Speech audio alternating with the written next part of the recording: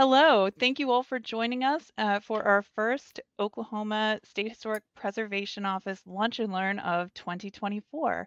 Uh, today's presentation is on the Canadian County Jail and current preservation efforts.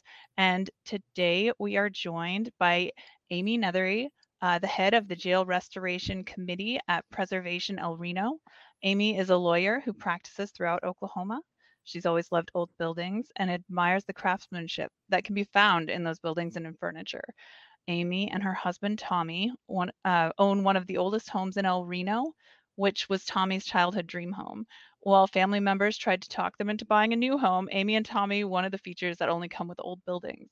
Over the last several years, Amy has worked on preservation and recognition of her church's 100 year old sanctuary, and the old jail will be Amy's first major uh, renovation project. But she's excited for people to see this amazing building. And so I am going to hand it over to you, Amy. Thank you so much for being here. Thank you. And thank you for that thorough introduction. I'm not sure I have much more to add. Um, I'm Amy Neathery, and there's a picture of me and my homie at Christmas time. We kind of living old buildings and old things. We love Christmas, and our home is ridiculously decorated, still decorated. We haven't had time to take the decorations down. Um, I, like Kristen said, I'm a lawyer uh, by day. Tommy is an accountant by day, but really has his passion and love in research and genealogy, history. And I want to credit Tommy, he did most of the research for today's presentation. So, we're here to talk about the old Canadian County Jail, but you can't talk about the jail and the jail's historic significance without talking about its architect, Solomon Layton. Solomon Layton, who you see there, um, is traced to at least a hundred residential and commercial building designs. Suspect the number is actually quite higher, that there were a number of copycat cat designs, and as we'll talk about a little bit later, a number of people who loved his work so much that they then took it and recreated it in other cities and towns. But as of right now, there's a hundred, more than a hundred that are known traced to him. His nicknames included a useful citizen, a dean of Oklahoma City architecture, daddy architect and in a recent conversation i had with bob burke um, bob referred to him as a genius and definitely agree i think you'll see why. It is definitely unequivocal that solomon layton was a pioneer in architecture not just architecture in general but architecture in oklahoma. In going back and looking at the designs that we know he did, his designs featured classical revival, neoclassical, second Renaissance revival, Spanish colonial, Gothic or Cherokee Gothic, as Frank Lloyd Wright would call it, Art Deco, and Italian Renaissance. So, this is a very wide range and wide variety of design features for a single architect tells me one of two things. Either he was so in tune with what his clients wanted. And that very well could be the case because his clients also noted that he was a friend, a friend to all, a good friend.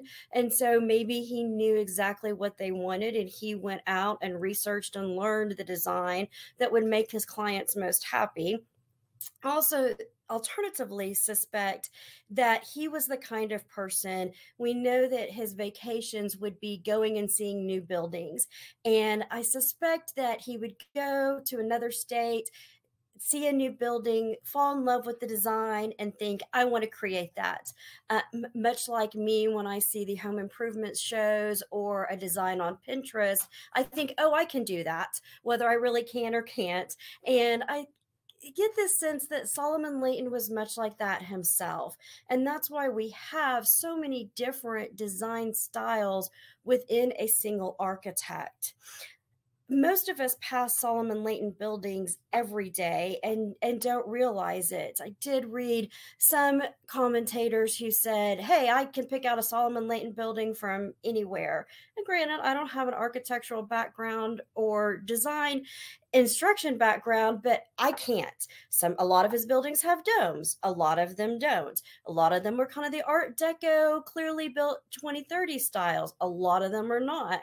Even among education buildings, which he did a gr- great number of, he's attributed with actually 46 education facilities. Even that design varies very much from his commercial designs so maybe there are people more trained and more versed in architecture who can drive by and point out a Solomon Layton building. I can't. And I assure you that you have probably seen Solomon Layton buildings without even realizing it. This map shows, and not to scale, but gives you a rough idea of all of the places where Solomon Layton architecture is found within the state of Oklahoma. Remember, these are the early days of automobiles, um, early days of Route 66, and ways of traveling when he would have been working. So he's, um, we did have the interurban and suspect that he used the interurban a lot for getting from one town to another. But for his time period and when he was practicing, he's really all over Oklahoma, and his architecture can be seen in a number of places. Solomon Layton was born in Iowa in 1864. He passed away in Oklahoma City in 1943. He's actually interned in Oklahoma City at Rose Hill off uh, 63rd and Western ish. In 1885, he married Alice.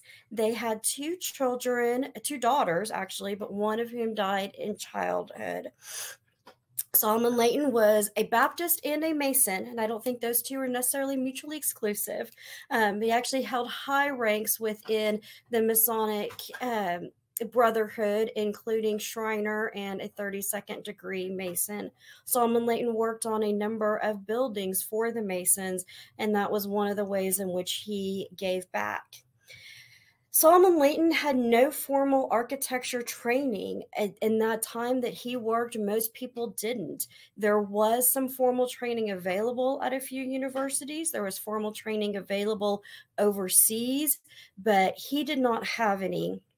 We do know that he read works and read architecture books to further his knowledge. He grew up in a family of carpenters and builders and had worked around construction since he graduated with high, from high school. But again, when you look at the vast number of works, the types of works, and we're going to talk in a second about the structure of his works, the fact that he had no formal education it just makes him that much more of the genius that Bob Burke recognized. In 1902, Solomon Layton moved to El Reno, Oklahoma. He tried to get land from the lottery, did not, but nevertheless established a home here. And let's yeah, I want you to kind of pause for a minute and think about the Oklahoma landscape in 1902. So we're three years post land run, we're still five years before statehood, we're still a territory. We are flat, very flat, flatter than we are today there's not much more that is bigger than a one story building. And at least in El Reno and what I have read about Oklahoma City, really at this time in 1902, we're not even getting into three story buildings much. The local governments are just forming families are starting to transition from the rudimentary dwellings that they set up when they staked their land claims into more stately homes. And in towns that came up from the land run, like El Reno, we see a number of homes that were built between 1889 and 1907. So we've got this architecture and buildings popping up everywhere, kind of just out of the ground. Uh, the El Reno Courthouse was built in 1903. The Elks Lodge was transferred transferred here from the 1904 World's Fair. Carnegie Library was built in 1905, Southern Hotel in 1906, and the jail we're going to talk about in 1907. So if you are a young wannabe designer, builder, architect, Oklahoma is a place to be and it's a place to really establish your career. And that's exactly what Solomon Layton did. most people are going to know the name Solomon Layton from his design of the state capitol. And he was awarded that job in 1911. So we're talking just nine years after he started working in El Reno. He got that prestigious project, which also came with a mm-hmm. $75,000 check and no doubt helped his business really establish. In, for our generation and I believe most of you that are here watching, you'll recall back in 2001, particularly 2002, Solomon Layton's name had a resurgence in this state because there was the campaign to put the dome on the Capitol like it was originally designed. That has been accomplished. We have fulfilled Solomon Layton's design and plan for that building. Um, and now I think that, you know, we're in 2024, his name has kind of fallen off a lot of people's radar again, and it shouldn't. Solomon Layton designed 16 courthouses, including the Oklahoma County Courthouse and the Beckham County Courthouse. Both of those are still being used today as courthouses. He designed 24 of the public school buildings that were around during his time. Uh, that was approximately two thirds of the buildings that existed are traced back to him. These included Central High School, which is now the OCU Law Library downtown, and El Reno High School, which is listed on the National Registry. Solomon Layton was the design of the Skirvin Hotel, the State Historic Building, buildings at OU, UCO, OCU, Chickasha Women's College, hospitals in Norman, Fort Supply, and Oklahoma City, the Oklahoma City YMCA, the Journal Record Building, the Governor's Mansion, 14 downtown high rises between 1908 and 1929. So, again, with this kind of influence and this prominence in a young emerging state that is literally coming into formation from the dirt to these buildings. I have no doubt um, my opinion only won't credit this to shippo or anybody else but i think there's probably thousands of buildings that feature influence from solomon layton if not downright copycat designs of his work and has of his architecture I made a mention about Solomon Layton and the structure of his designs. Just absolutely incredible. And again, when you think back to no formal training and buildings that were built in the 1910s, 20s, 30s. So after the 1995 bombing in downtown Oklahoma City, there were 11 buildings designed by Solomon Layton that sustained damage from the bombing.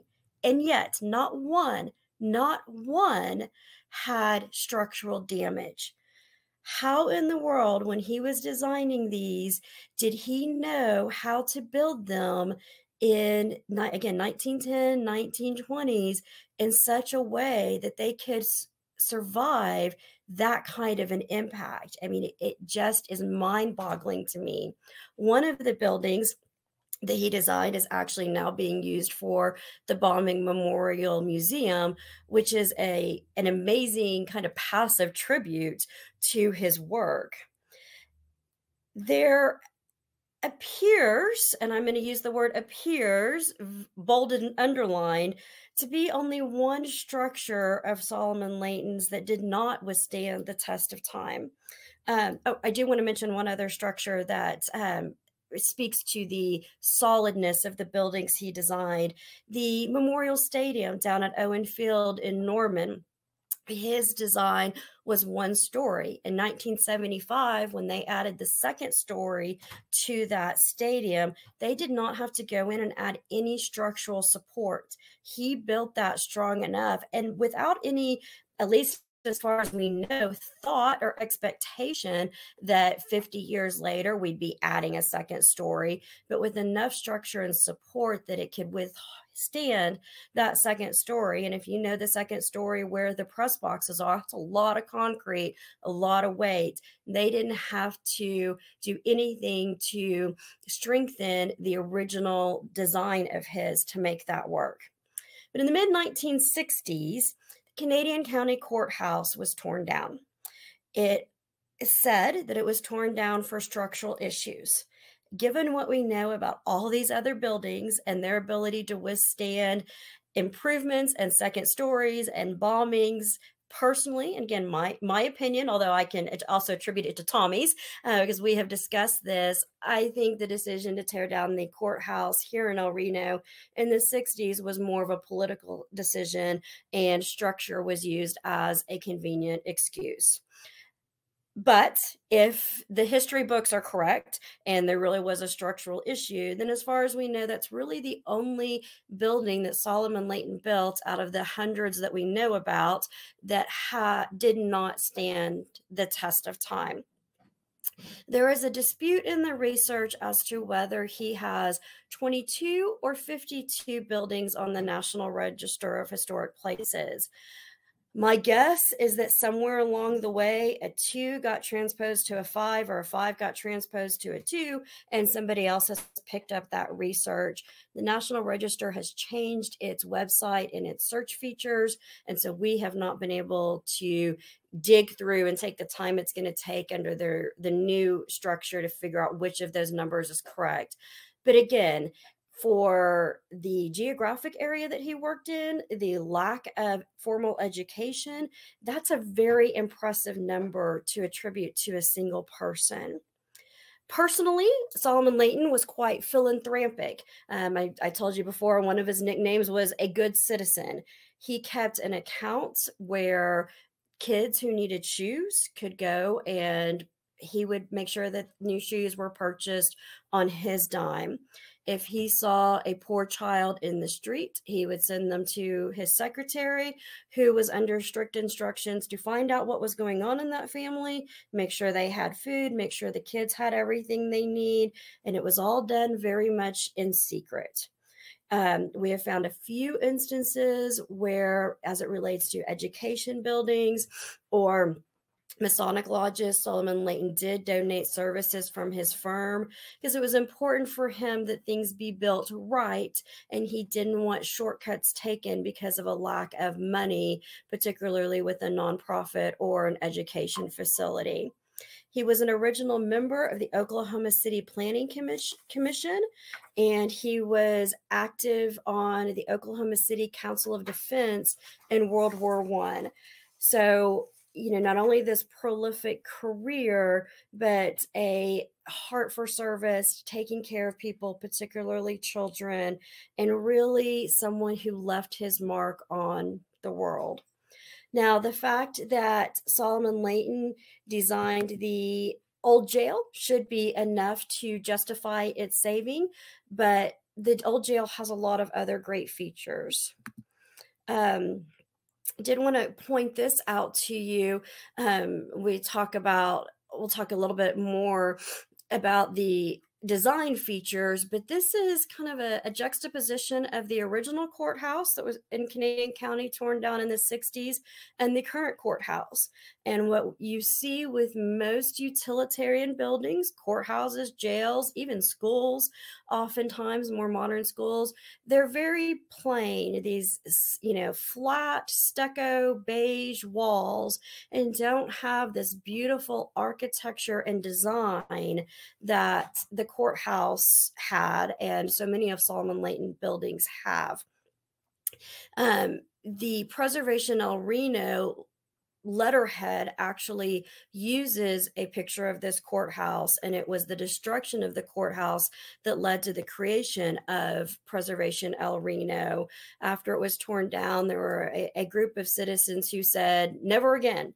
We do not ever want to lose a beautiful building because it wasn't properly maintained or because citizens didn't get involved.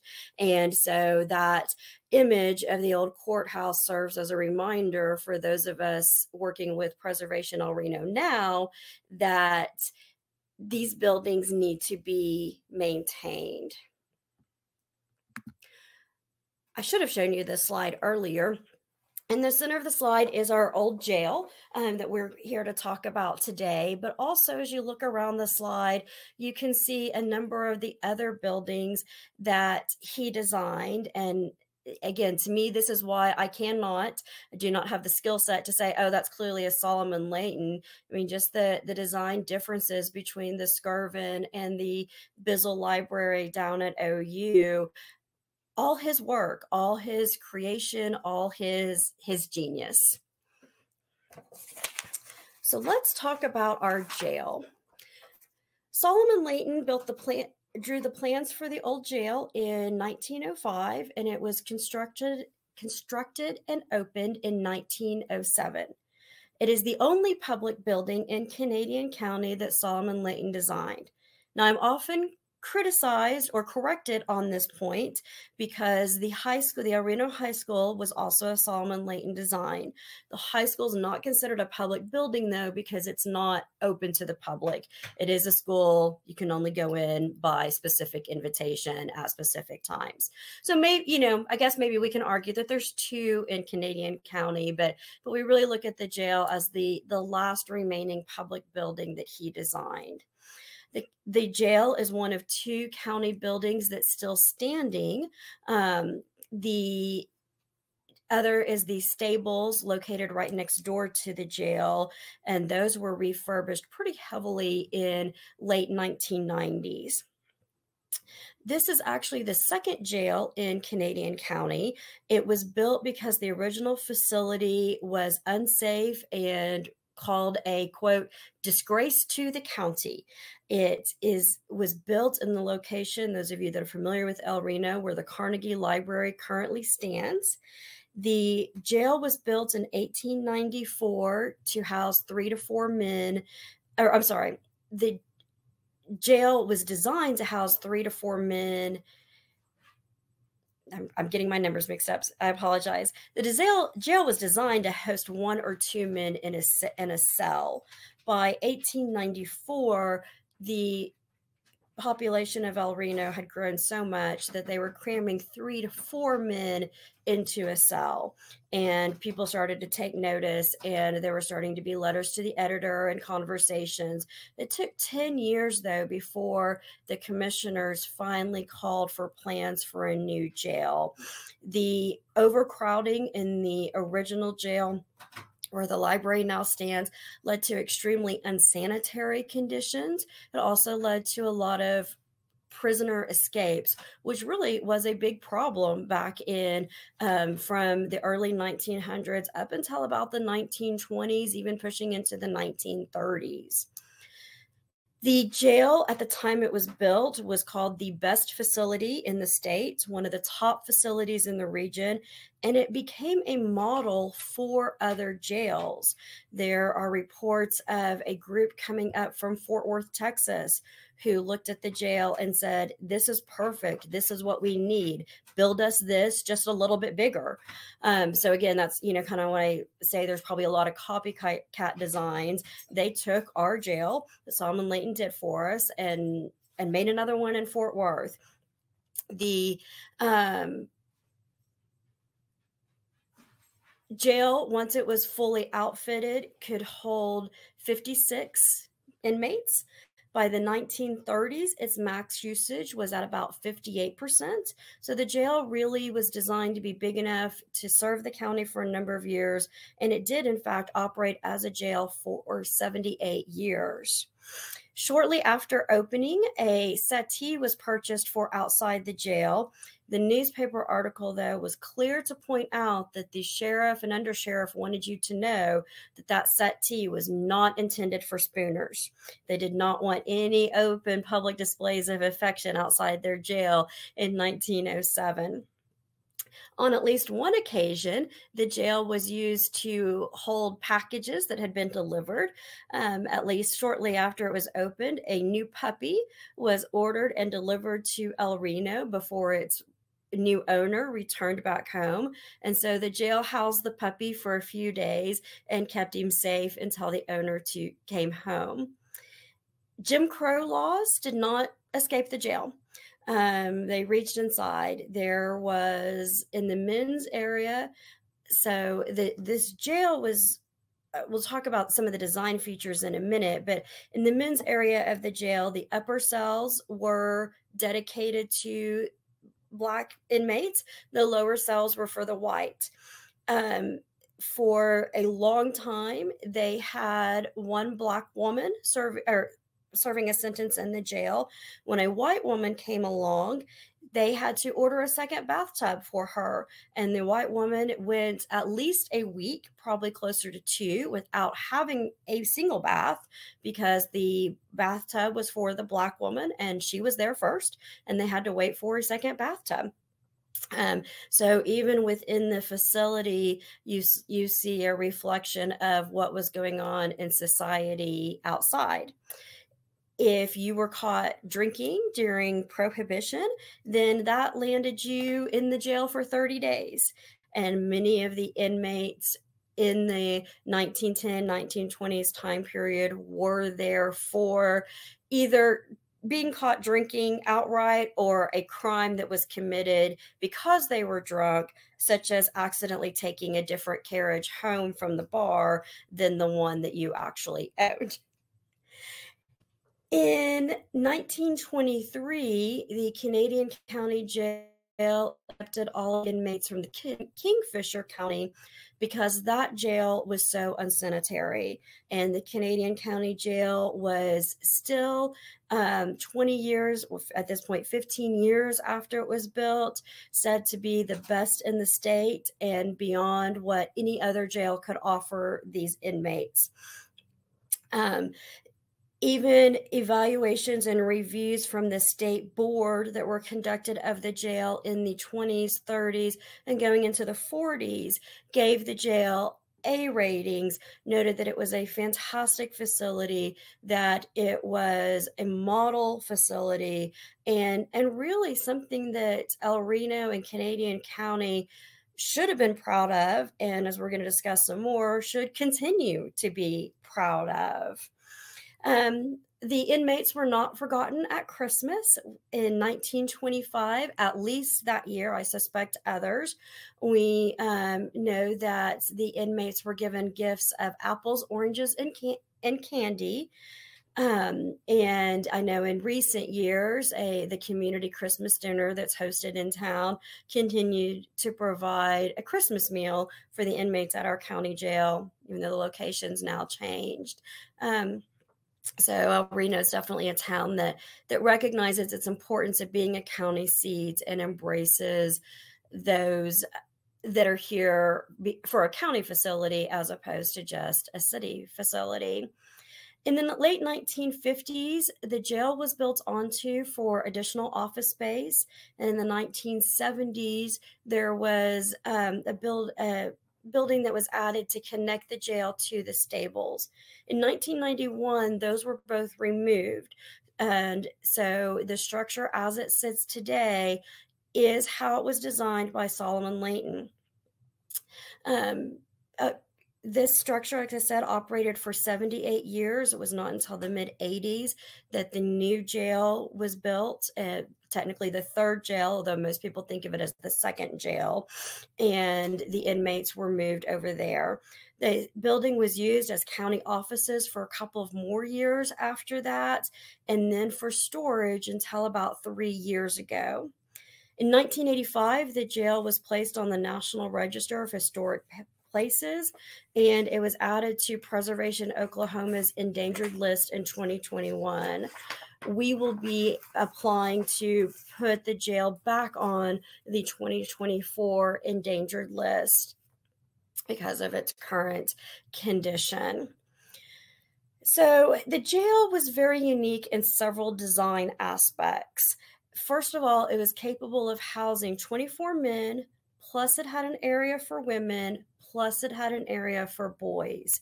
So all the um, criminals who were awaiting trial or convicted could be housed in the same facility safely.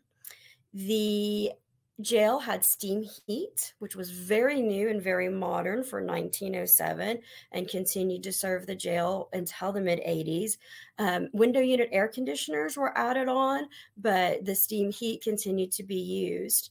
The jail had a separate meeting space for attorneys and clients. Again, think about, you know, we're we're right at the beginning of statehood and already recognizing the importance of the attorney-client relationship, the importance of those that are serving time, who haven't gotten out on bail or, you know, have a conviction that they want to appeal, that they can have some private time with their attorneys.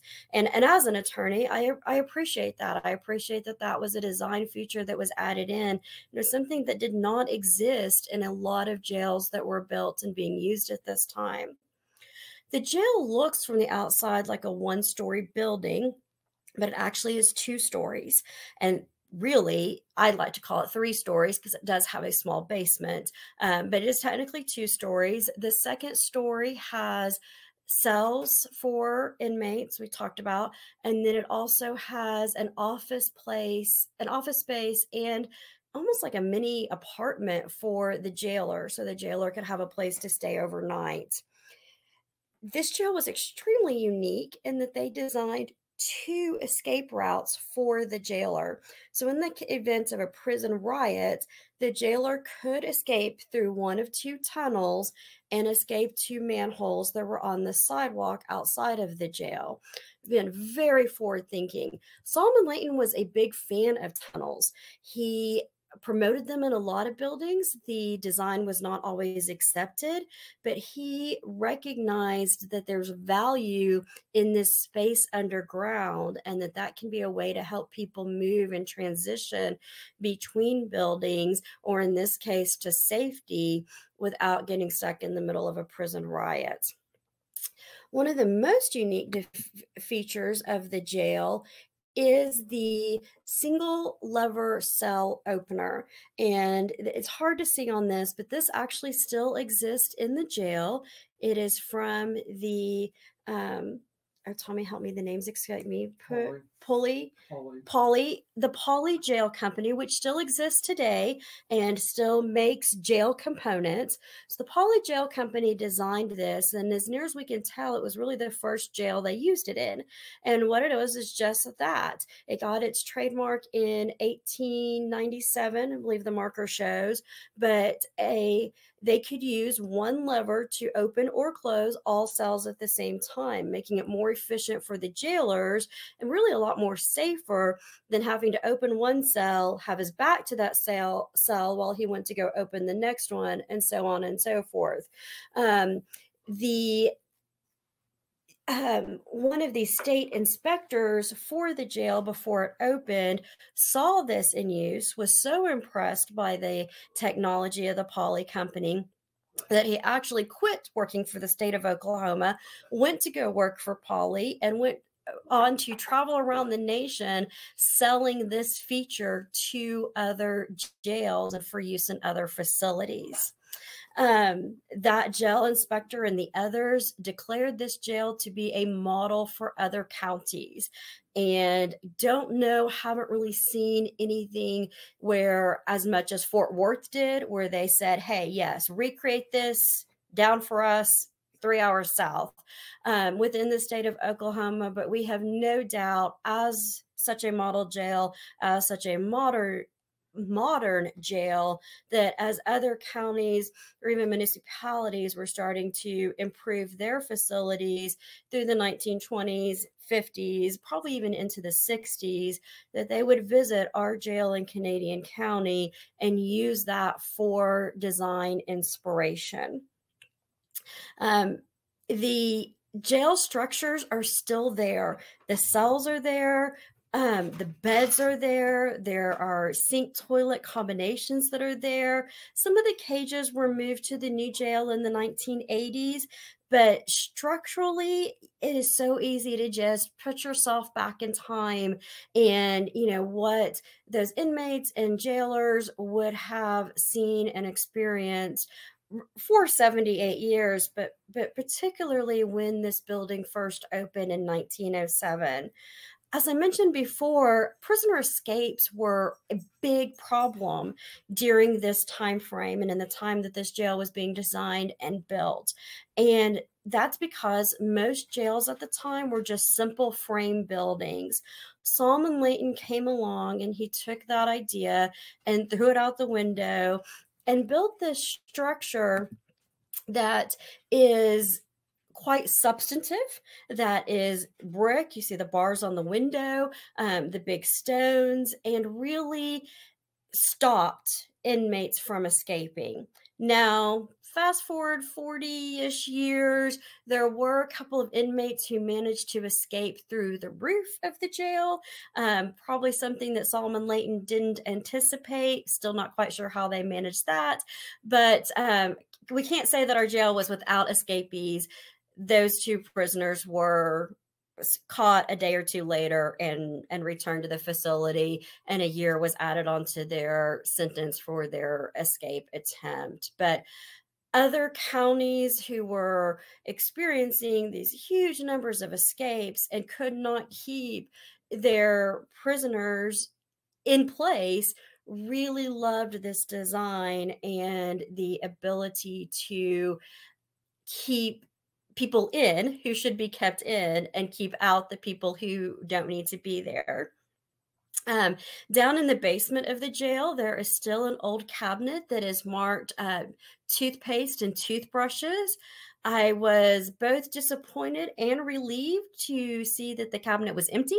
Uh, there's nothing in it right now, but like I said before, it's very easy to walk in that facility and see what life was like for those who were there. Um, the jail is a masonry building with a symmetrical T shaped floor plan.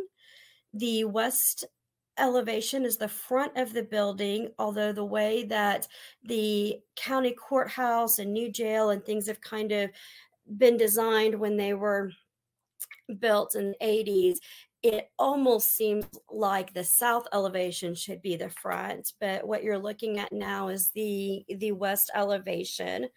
Um, the major wall openings have tall wood framed windows. The except for the windows at the main entrance then all the other windows on the side and all the back are covered with iron bars iron bars and had red painted screens this design is an Italian Renaissance design, and it was was and remains so unique for its design in a utilitarian building. Again, if we go back and we look at the courthouses and the design of the courthouse at the turn of the century versus the courthouse of today, we see beautiful design versus very utilitarian. Think about the jail in your County, um, Canadian County, I'm sorry, not Canadian, Cleveland County, Oklahoma City Jail. Those are very plain, flat, no architectural detail. This was not, is not. It is a beautiful building. It has those great columns out front. It was designed to match the neighborhood at the time it was built. Again, for those of you that are familiar with El Reno, where the current county jail sits now was actually houses. And Solomon Layton wanted the jail to fit in with the neighborhood. So the size of the jail is actually not that much bigger than what a house on that block in that area would have been. And it was designed to fit that. So, again, if you think about what I talked about early in the presentation with all of his different design structures and um, types that he was able to use, was it the whim of the day or was it him really knowing his clients and him picking a design that would blend right in and re- a recognition that that's something that would have been important to the community when this was built in in 1907 um, the original roof was a slate roof. Today we have an asphalt roof. When the stables next door were replaced, that a metal roof was put on. Um, I will show you a current picture of our jail. This is the jail and its um, sad asphalt roof. So we're going to talk about some more in a minute. Um, plans are eventually to put a new metal roof on, but in the short term, our current plan is to go back with an asphalt roof. It is cheaper, it's a lot cheaper, it is faster. It's a lot of renovation that we want to do. And so the plan is to put an asphalt roof back on. Recognize this is Oklahoma, give it three to five years for a good hail claim. And at that point, there will be insurance money that can help. And we won't be trying to fund a number of repairs at one time. And then we can put the more permanent metal roof on that will match the stables. It will not be the original design of a slate, but in terms of long term preservation, the metal roof makes the most sense.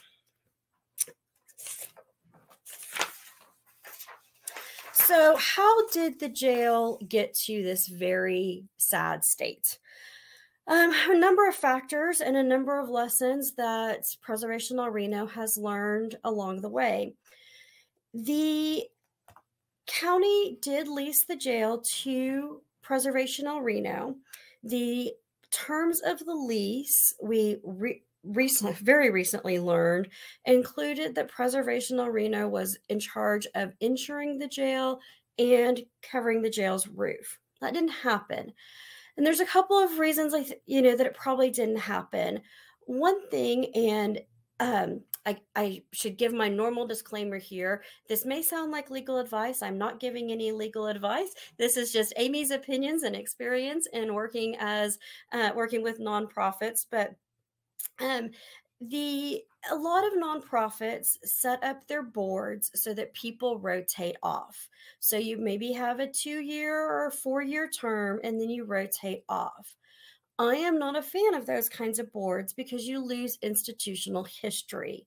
There is, at, at, some point, you get a whole new board. Now, a lot of people like those boards because it brings new ideas, new energy, and, and that is fine and that is good, and you need that too.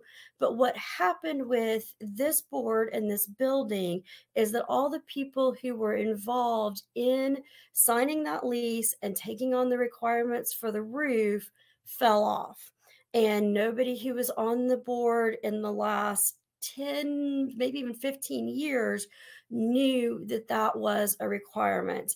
Nobody thought to look at the lease and see hey what is required of us?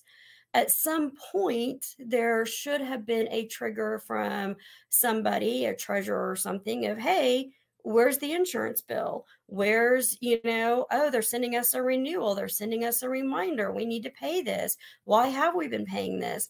I don't know what happened there i wasn't involved with the organization at the time um, but that that trigger got missed.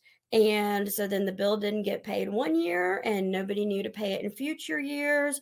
And fast forward to 2023, and we get a copy of the lease and we see that what was given to us as a responsibility has not been upheld. Um, whether that could should have been negotiated in the original lease in the first place is a whole nother question, but that's what the county gave to Preservation El Reno. There was also a major problem. Um, like I mentioned, the building was used for storage until about three years ago. That was in the lease when the county stopped using it as office buildings in the mid 80s. They put evidence in there, and so nobody could go into the building but a sheriff's deputy um, because of the evidence and because of the necess- necessity to preserve chain of custody and that sort of thing. But at this because nobody could go in there nobody could see what kind of damage was being done nobody could detect early leaks in the roof before they became big holes.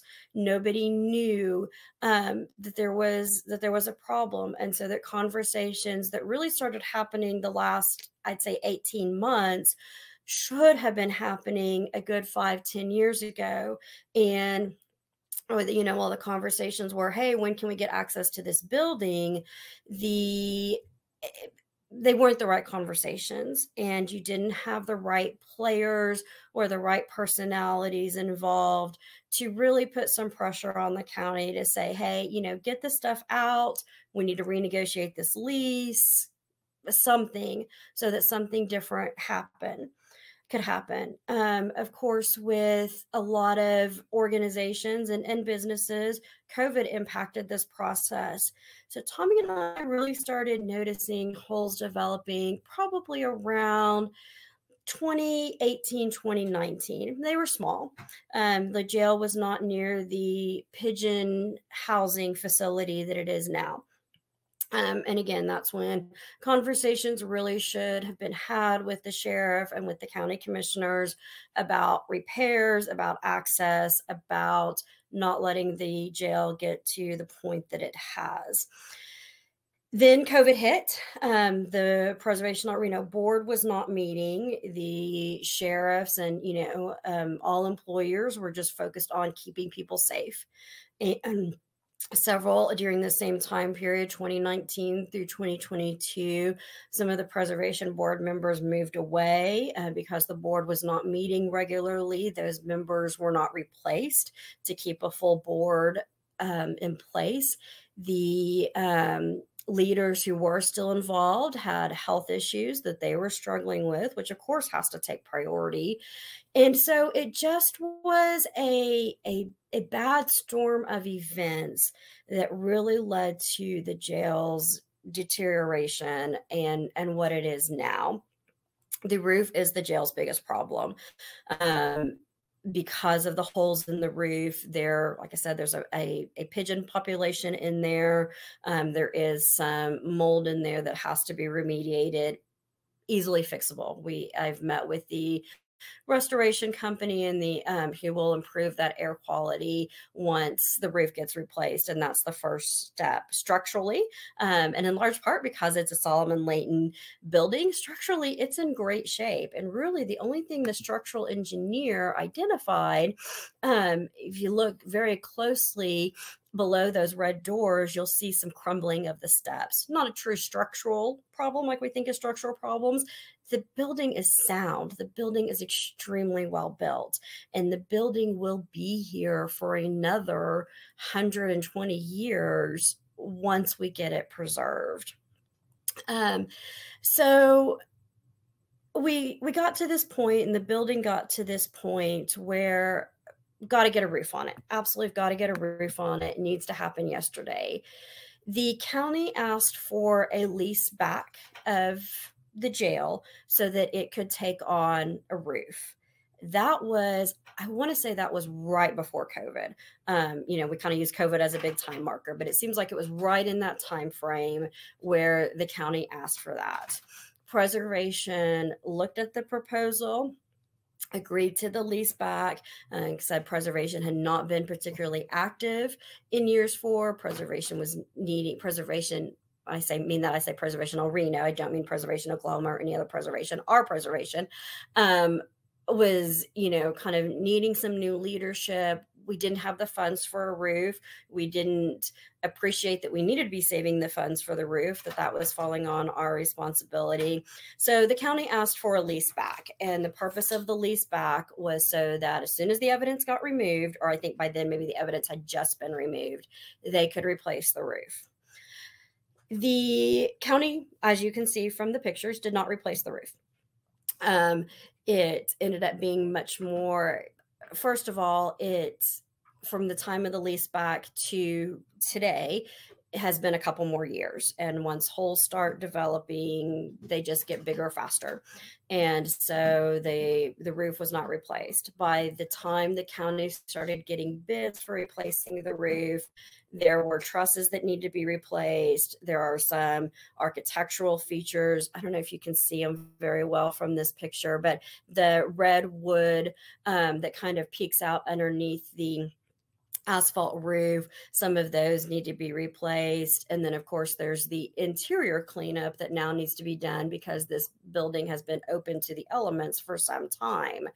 Um, so the county ultimately said that's more than what we intended when we said that we would replace the roof and it's going to cost too much money to not only to replace the roof but to get this building where it is safe for people to go in and out of it again because of the air quality and so the county voted to tear it down which was a very sad day for my husband and preservation El Reno. Um, the and so what next? what um you know kind of where where do you go from there once once that decision was made? There were two paths that were discussed one was the um, sue everybody in court take them to city hall fight the man kind of path. You would think as a lawyer that would i would have been the leader of that path. Um, that is not my style. And the path that we took and that ultimately ended up being successful was what i'll call the flies with honey path. The um you know let's let's go back. Let's get some some different faces in front of the commissioners. Let's talk to them and let's see and so about a week after the vote was to tear the jail down, I reached out to one of the commissioners and I said, "Is there a path to save the building? If if there's not, if the decision is done, you know, the bids have been asked for for the destruction, let me know." Um, but but thankfully, I was told no, that there was a path and that the path needed to include a very clear plan, some very clear details for how we were going to save this building and and a plan for moving forward. So we did just that. We put together a very detailed plan and i mean detailed to the point of within 24 hours this is the step we're going to take. Within 48 hours this is the step we're going to take. Within two weeks we're going to be here. Within three months we're going to be here. Within 12 months we're going to be there. Now have all those deadlines worked exactly the way i want them to? No. Um, some things are taking a little longer some things went a little bit faster but we presented that to the county to show we've thought this through we are dedicated. We know this isn't just as easy as snapping our fingers and suddenly we have the building back to what it was in, in 1907, and that we're willing to to put in the work. Um, and in fact, and one of my pitches to the county that made its way to the newspaper and then has made its way onto the shirts that Preservation Reno now's now wears said, you know, if you will give us this building back, then you don't have to spend another dime on it, and you can just sit back and watch us work. And so that's what we've been doing. That campaign, that effort was successful. The commissioners voted to let us have the building back. And so we now have a new lease for Preservation El Reno. There is no evidence stored inside, there is nothing inside the building other than what uh, gifts the pigeons have left us and the cabinet that says toothbrushes and toothpaste. And we are working on getting a new roof.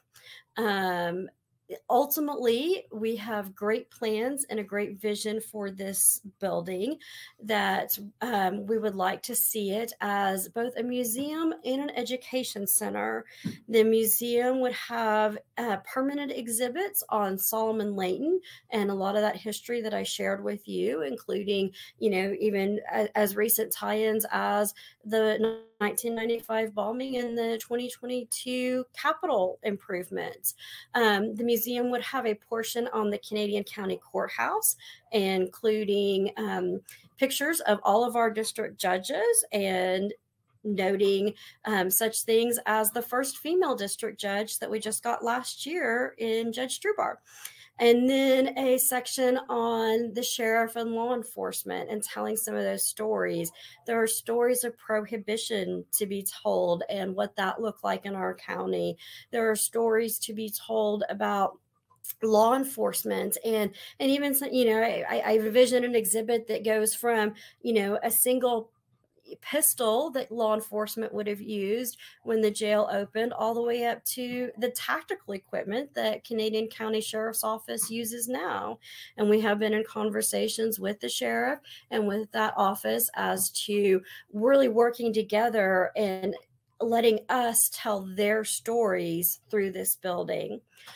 But the education component is huge for the future plans for this building architects, future architects, those that are going to college need to see Solomon Layton's work. They need to see it up close. They need to touch it. They need to be in it. And I, am hoping that we, and maybe it's, you know, a lofty goal, but I want to inspire a new generation, or maybe not a full generation, but a couple of architects to not build boring, beige, flat, utilitarian buildings, to look at something like this jail and the beautiful columns and the design bringing that Italian Renaissance design into a neighborhood, building for the community, not just for the purpose. And that's something that architecture has lost in a lot of ways. And so, um, actually about two weeks before we met with the commissioners um, and they reversed their decision and let us have the jail back ou uh, school of architecture one of their professors reached out and he wanted to bring a group of students and this building, when it's restored, will really cater to that and provide a place for architecture students all over the state and really all over the region to come in and look at what we have. Um, we also have a library that's in the, the process of a large digitization and those images are going on to Gateway Oklahoma. That paper won't be needed anymore. Tommy and I are big fans of paper, and we'd like to see a place where somebody can still go and dig through paper and and still work with the paper of things and not just do things on on computers. Um, and then this this facility will no doubt become a tourist spot it is located just off route 66 though we already have several route 66 tour spots in el reno the canadian county museum. People come from all over the world to visit that museum and we are looking forward to when people come from all over the world to to see a jail and to see what criminal justice in america looked like for a long period of time and for criminal justice students to see to that and um, to to really open that back up um, I see that I have used most of my time. I don't know if we have any questions that came through, but I will leave um, the email address for Preservation El Reno here so that if you do have questions, you can email those to us and we'll happily respond. I'd also encourage you to follow us on Facebook. That way you can watch the renovation of the jail in, in kind of real time. And when we're ready to have that ribbon cutting in a couple years, you'll be able to attend that. So thank you for again for spending your lunch. Kristen, is there any questions or anything else? Thank you so much, Amy, for this presentation and for all of the work you've done. Um, I will let you know that our National Register Coordinator confirmed that by last count, there are 52 uh, National Register of Historic Places listed buildings in Oklahoma that have been attributed to Layton's firm. So I can give Thank that number. Fabulous. Thank you for confirming that. And we will send notes to all the newspapers that have it wrong. Perfect. And we just, we probably just have a, a minute left, but uh, could you answer this question, which we've received, which is many communities are working to save buildings um, that are currently in a condition similar to the Canadian County Jail, what recommendation or tip might you give um, to help guide them in their preservation efforts? If you can just say something here at the end. Yeah, I would say have a, a plan, a detailed plan, a thorough plan. If you want to email me, I will happily send you the plan that we used for the commissioners to show them we were serious, that we were not naive, that it wasn't just a, oh, please, sir, you know, let's save this building. It's so pretty. That that we recognized it's work, it's money, it's time. And here's a group of people that are willing to do it. And and even as part of that, I went so far as to create the brochure um, that we would be using again to show we were serious about this. And I think the more you can show the community and the decision makers that you know you're you're realistic about what it takes to preserve a building and that you have support and you have a leadership team that isn't just going to visit this topic every you know six nine 12 months but is ready to work daily weekly whatever it takes it made a difference in our case and i can't imagine that it wouldn't make a difference in other communities i think that's fantastic advice. Thank you so much amy. Um, again eh, we encourage everybody to to reach out to you via email or you can reach out to our office. Um, we hope to see you back for our next uh, lunch and learn presentation in february. And uh, everybody enjoy the rest of your uh, your week